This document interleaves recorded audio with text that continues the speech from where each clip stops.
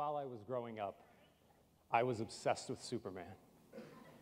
And apparently, I had no shame. While I was growing up, there was a real Superman who changed my life. This is my grandpa, Ben. Grandpa was a second generation American without even a high school education who worked in a factory his whole life so that all four of his kids could go on to get master's degrees. He was a real Superman, at least until he was faced with a supervillain diabetes. As one of the leading causes of amputations, Grandpa's superpowers could only take him so far against this supervillain.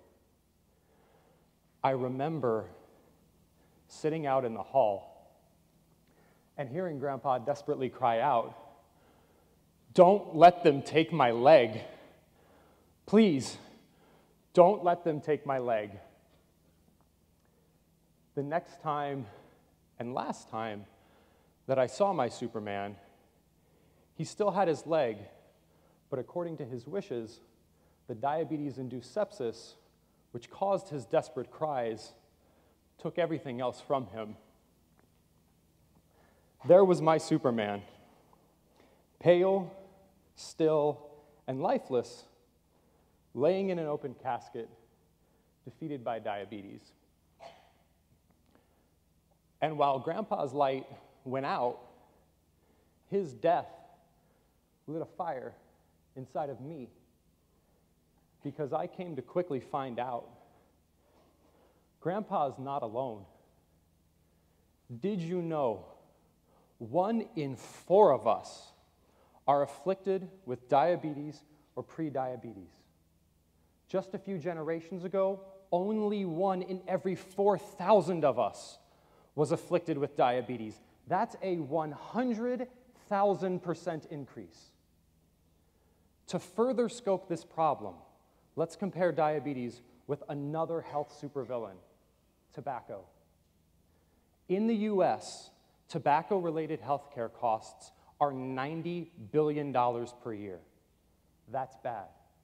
Diabetes related healthcare costs, $140 billion per year, or $50 billion per year, greater than all of tobacco.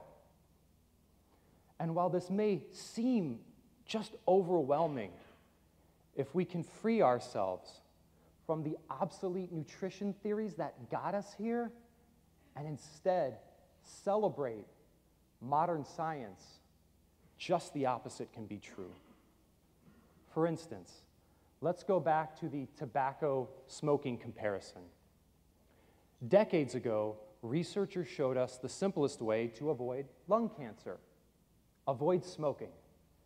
They didn't tell us smoke in moderation or just smoke smaller cigarettes or, you know, smoking's really not so bad, just make sure you exercise more. They told us avoid smoking. Consider this along with recent research where scientists studied 175 countries and discovered what seems to be the simplest way to avoid diabetes avoid added sugars. So, could it be that, like lung cancer, isn't avoided by smoking in moderation, smoking smaller cigarettes, or smoking on a treadmill?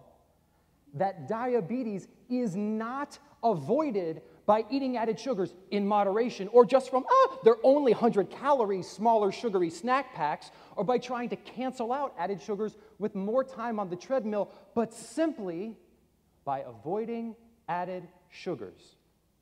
In fact, when you consider that nearly two thirds of all added sugars come from just three products soda, candy, and juice, and that the companies who are producing cigarettes they're the same companies behind leading soda, candy, and juice brands. I wonder is it reasonable for us to start asking is added sugar the new smoking? Because if it is, what would we do differently? For instance, how would you treat soda, candy, and juice when it comes to your children? Or how would you treat yourself when it comes to these eating disorder inducing calorie counting schemes that encourage you to skip breakfast and lunch so that it's okay to eat a bunch of added sugars with dinner? And most importantly, is this analogy just empowering as hell? Because if added sugar is the new smoking, do we already have proven anti smoking inspired policies that could help save the lives of one in four of us, while helping to do away with the healthcare crisis by eliminating the tobacco dwarfing economic burden of diabetes. If added sugar is the new smoking, can you immediately see how you can heal and protect yourself as well as your loved ones, and how I may have been able to save my grandpa's life? If added sugar is the new smoking, and we let the tragic global impact of this problem and the simplicity of avoiding soda, candy, and juice light a fire inside each and every one of us, could we all become real life supermen and real life superwomen? Because today, we can save the world.